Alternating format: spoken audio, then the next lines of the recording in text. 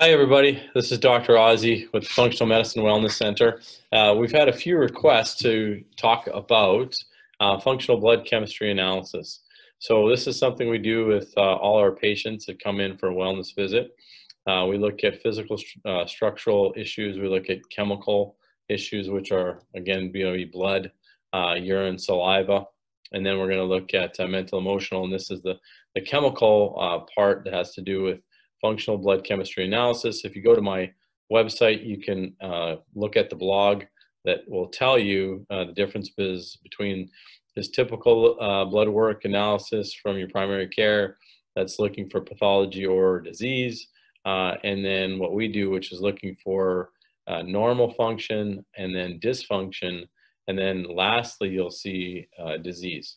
So let's go through this so people can see it. This is just someone we picked from the office and uh, I'll be blurting out numbers. If we see on the right-hand side, we have the reference ranges uh, right in here that um, we'll, we'll see from the typical uh, office that you're going to.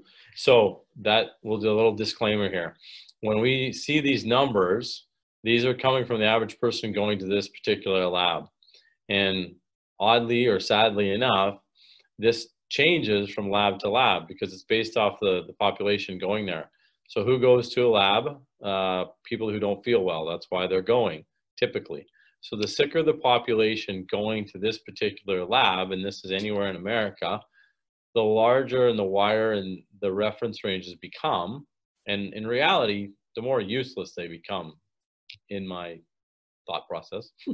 and so uh, we want to narrow those down and go, okay, what's this normal function? I don't care if you live in Canada, Europe, you know, Mexico, Texas, where we're at, uh, or anywhere. What are those normal numbers and healthy physiology, not right next, next door to disease, right? So again, we'll crunch those numbers, and if I spit those out, those numbers, and you hear them, they don't jive with this, that's functional numbers. Those typically come from uh, the American Association of Clinical Chemists, and then also just uh, clinical uh, information over you know years and years and years of of looking at blood work from numerous different docs. So uh, let's take a look here. Glucose, we want 85 to 100, so this person's 79. So we would start asking questions like, do you get, uh, do you eat breakfast? Uh, do you get the shakes or lightheaded or grouchy, right? Like the Snickers commercial. when you don't eat, because this is again a little low. Now it's one pinprick in time, and this is super important to note. We look at a hemoglobin A1C because most people are going to look decent uh, at seven in the morning or eight in the morning or whenever this was taken and they were fasting because they haven't eaten. And so unfortunately, medically, we might look at this and go, oh, wow, you're awesome, right? And we kind of neglect what they are on average. So a hemoglobin A1C is like taking a pinprick of your blood for like the last three months. So it gives you an average. So it's not perfect, but it's better than if you just took this number here. And so um, if we looked at this 5.1, it's probably coming more up around, you know, 100 um, or slightly over 100 on average. And there's a big difference between this one and that one because of that. Uh, and then what we'll see is this person might feel like, hey, I kind of bounce around all day, where sometimes um, um you know, got foggy headedness or I'm, I'm just, uh, you know, zoning out a little bit. I have insulin spikes. I'm up and down uh, because, you know, we might have some highs and lows throughout the day. And, and we don't want that. We kind of want this number more about 4.9 uh, would be better, maybe 4.8. And that gives us that 85 to 100 range. So continuing on, we might look at uric acid. So right here, you may have some symptoms uh, going on, but you're, and this is the problem, and your doc is just going to cruise right by this, and they're not even going to do a hemoglobin A1C because that's actually for someone who has diabetes, and they're looking to see well how you're managing your diabetes. So again, we use it because it's just a good functional test to see where are you most of the time, right?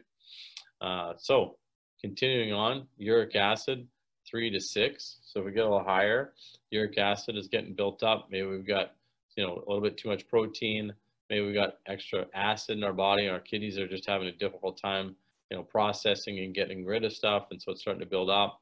If uric acid gets too high, sometimes we'll we'll hear about um, gouty arthritis. That's where the big toe really just painfully hurts you, right? 7.1, you know, we're getting up there pretty close to it. Blood urea nitrogen, uh, again, um, uh, liver, kidneys, 13 to 18. We're okay at 14. A little low. Sometimes we start thinking of B6 need. Creatinine, again, kidney marker. Also uh, a little bit of muscle mass, 0.7 to 1.1. Uh, filtration rate to the kidneys is good, above 100. Um, sodium, 135 to 140, 4 to 4.5, 100 to 106. So sodium potassium chloride, a lot of times sodium potassium chloride are really good to look at and see what's going on with our adrenals. So when we look at that, we might say this is normal, but this is a little low, and this is definitely low, medically low 96.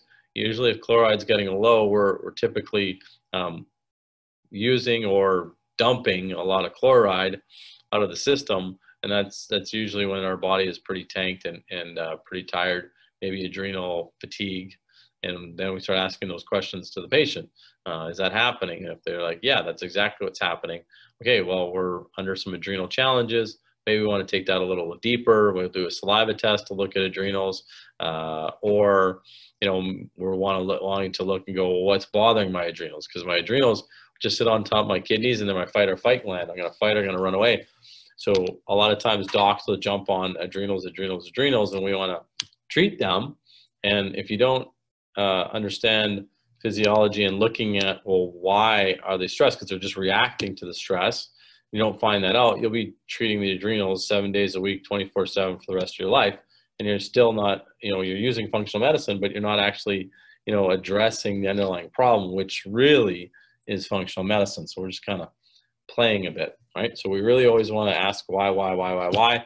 And again, at some point, you may need to support the adrenals anyways, just to get them out of trouble. But you're also constantly looking to see, well, why are they stressing? Okay, uh, carbon dioxide, definitely 25 to 30. We're pretty low at 21. We're starting to get uh, acidic. Uh, when we see that 20 is medically low, so two points away from being medically low and a flag at 19. So a lot of times we're getting a little too acidic. And again, people may be real sore, they go for a workout and they say, yeah, you know, I can never recover anymore, right? My kidneys get rid of 90% of my acid. Um, again, I'm tired and I'm fatigued and get foggy headed because I might not be, you know, uh, exchanging oxygen to my tissue as well because I'm holding on to it in the blood because my blood can't get acidic and on and on and on. So these are the things we may see, and so we can start to address that. Um, calcium, 9.2 to 10.1 or 9.6. Phosphorus, 3.5 to 4.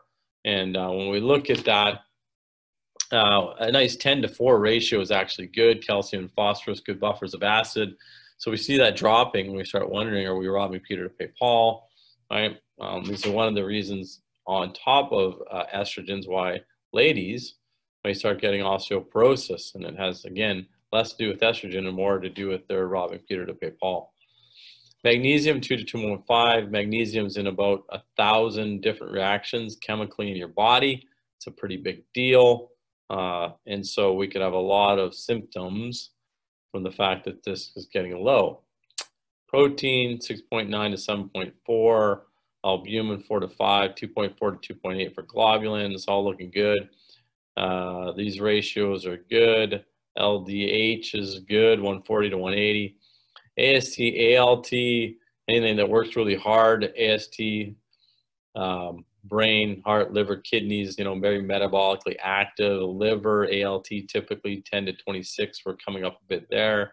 Call GGT, sometimes a good in, in uh, looking at uh, indicator of sort of glutathione status, the number one intracellular antioxidant of the body. It's a big deal.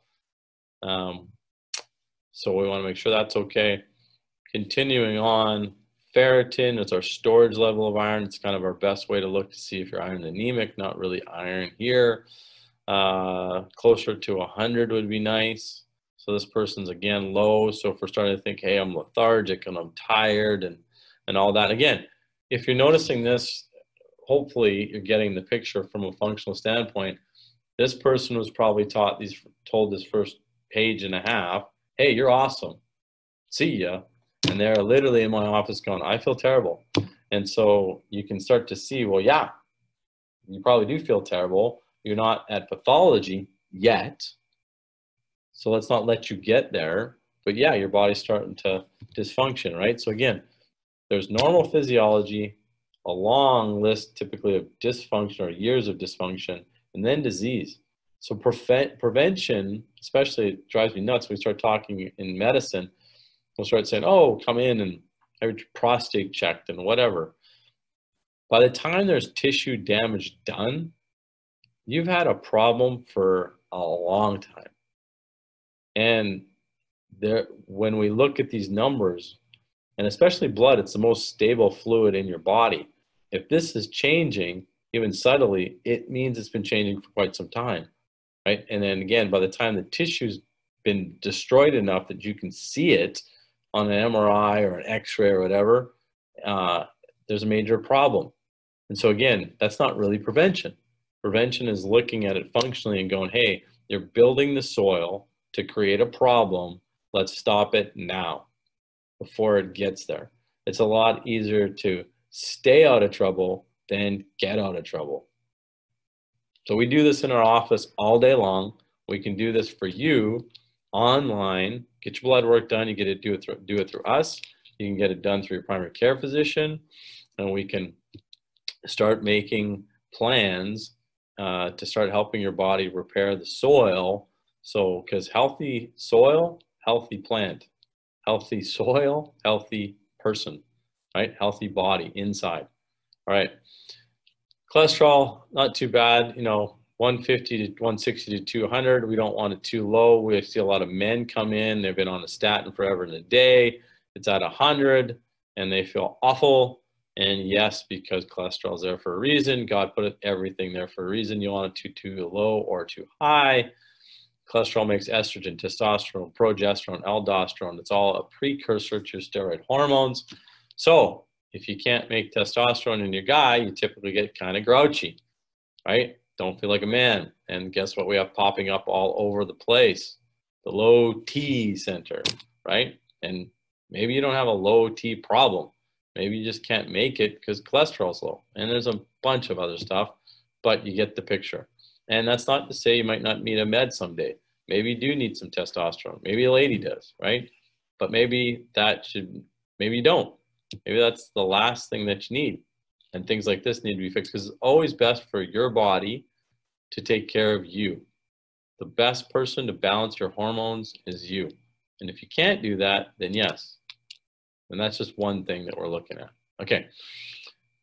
Off the soap uh, box there. Okay, Triglycerides should be about half of the cholesterol.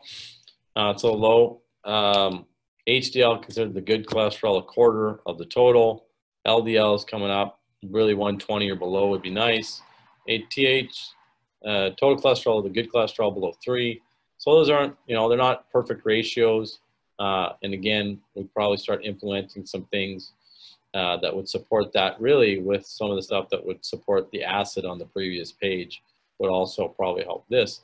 Cholesterol, uh, think of it like um, uh, sometimes if you have a pothole in the uh, road, you repave it. Cholesterol acts a little like that. If you've got an inflammatory process, it's trying to dampen it down. That's why you'll take cholesterol, the LDL puts the cholesterol in the arteries. HDL takes it out. That's why it gets a good and a bad name. But the question really should be, again, why? Why would I be putting it in there instead of just uh, stopping it? Typically, you're putting in there because you're inflamed. So it's a problem because it's a circle and eventually it's going to clog up. But wouldn't it be better to address the problem, which is inflammation, not typically a deficiency in a drug that decreases cholesterol? Just saying. But if you need it, med, Okay. Continuing on, if we haven't done a functional blood chemistry analysis, we don't know. C-reactive protein, inflammation, highly specific. It's got a benefit to look cardiovascular-wise. We want it below one. Average risk for cardiovascular event to one to three. She's this person here is 2.6, three. So we'd want to work on that. Again, inflammation, right? Maybe we've got that going on here. So with this, this gets better. This is kind of nice about fixing problems. A lot of times you fix a problem and 10 symptoms get better, which is kind of cool because you spend less money on medication and you feel better. All right, or you could spend less money. TSH, thyroid stimulating hormone, 1.8 to 3.0 looks pretty good. This is typically the only thing that gets looked at when you're with your medical practitioner. This is just basically your brain telling your thyroid to do something. I often tell my patients, especially if they have kiddos, this is like telling your kid to go here and clean their room. And you don't look at these guys, which means you didn't actually go to their room to see if they did anything. How many times have you told your kids to go do clean the room? They say, yeah, you bet, I cleaned it. And no, they didn't. So if you just do the TSH, you really have no idea if your thyroid did anything. It's one way to go. It's not the way I would go. I would want to know. That's just me. So now we look at T4, the inactive uh, thyroid hormone, 6 to 12. There's 7.3, pretty groovy. Uh, T3 uptake, looking a little low. As you can see, medically low is 24. We're getting here at 24. T3 uptake is like kind of like a lock and key, get that T3 in there. So again, the story, got to make it, you got to tell it to do something. Then you got to do it. You got to have all the, the precursors, the vitamins and the minerals to do it. Then you got to transport it. Then you got to convert it. And then you got to get it in, lock and key. So this person is being told to do it. This person is making it. And if we stopped here, they may feel kind of funky. 300 symptoms, 300 plus symptoms with a low thyroid or a thyroid that's not normally kind of functioning as far as physiology goes. And the thyroid looks like it's doing its job, but it's not getting in the tissue. Sometimes the tissue is the issue because it doesn't get in there. There's lots of things that can gunk up that receptor. So this person may feel lethargic and tired and brain fog, and, and they do, uh, and it gets missed, and it's right here. Thyroid is also involved almost always loss of a major metabolic hormone, one of the main things that's always involved in all forms of cancer. So we really don't want to screw, pardon my French, with your thyroid. We want functioning. Cancer is kind of a big deal. All right, continuing on, 1.8, free thyroxine index. It's okay, could be a little better. Medically low vitamin D. It's 2 billion, don't quote me on that, but it's pretty close to 2 billion people worldwide are deficient in vitamin D. Might want to get that checked. Very important. We want it closer to 90. It's involved uh, in your immune system. Inversely proportional to autoimmunity. Lower the vitamin D, increased inversely proportional to autoimmunity. Low thyroid, increase your chances of autoimmunity. Also, inversely proportional to mortality, death. Low vitamin D, increase your chance of death. Not good. So we want to get that up. After about age 40, you don't make as much vitamin D from the sun. Something to think about.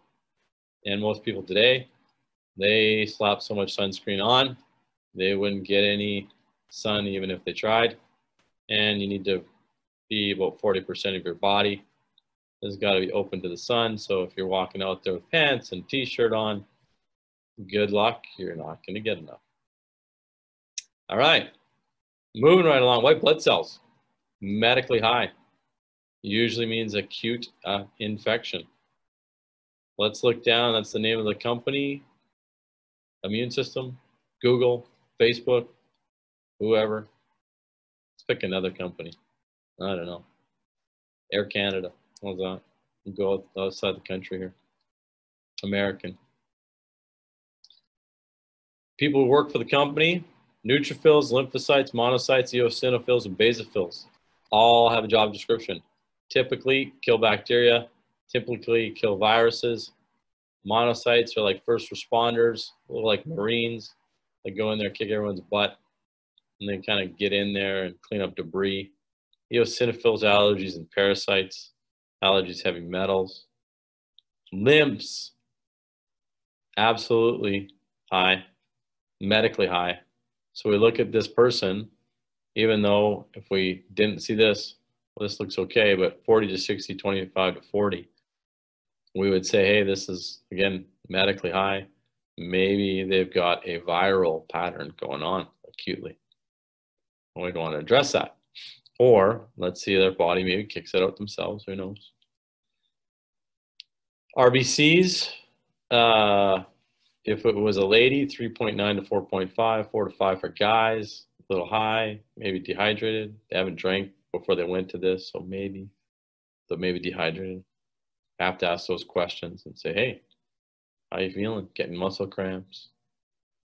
Brain 77% water. Brain fog. Maybe you're dehydrated. We'd miss it if we just looked at medicine. Okay. 13.5 to 14.5, looking pretty good, looking pretty, lots to do with B vitamins here. They look okay. I don't want to kind of bore you to death with the numbers. Um, and then we look at white blood cells, uh, a little bit abnormal in here.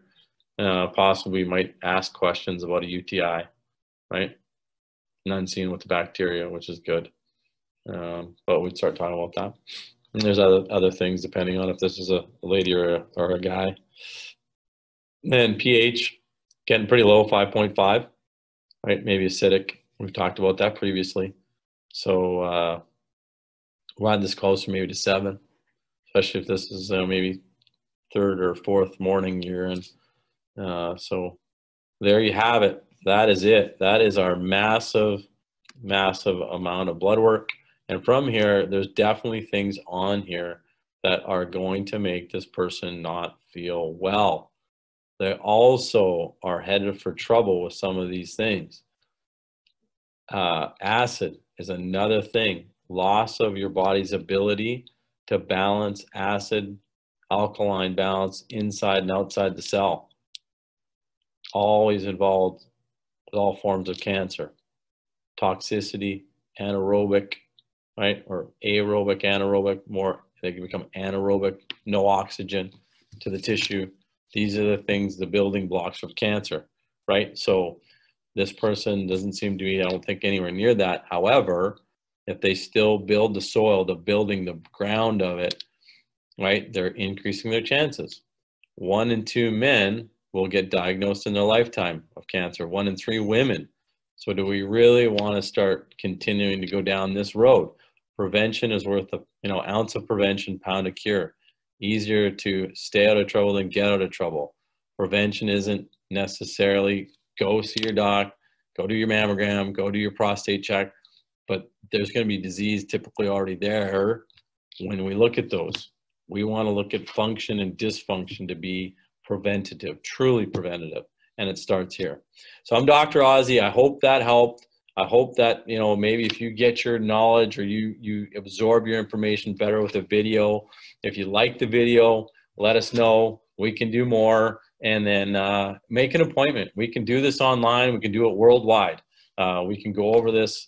FunctionalMedicineCenter.com, FunctionalMedicineCenter.com functionalmedicinecenter.com, Dr. Ozzie, Dr. Ozzie, Dr. Ozzie. We're here to help. Uh, have a very blessed day. All right, bye.